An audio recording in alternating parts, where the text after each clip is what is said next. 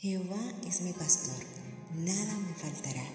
En lugares de delicados pastos me hará descansar. Junto a aguas de reposo me pastoreará. Confortará mi alma, me guiará por sendas de justicia, por amor de su nombre.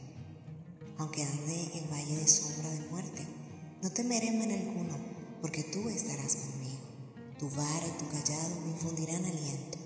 Adereza mesa delante de mí en presencia mis angustiadores.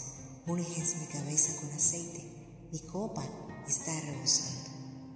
Ciertamente el bien y la misericordia me seguirán todos los días de mi vida y en la casa de Jehová moraré por largos días.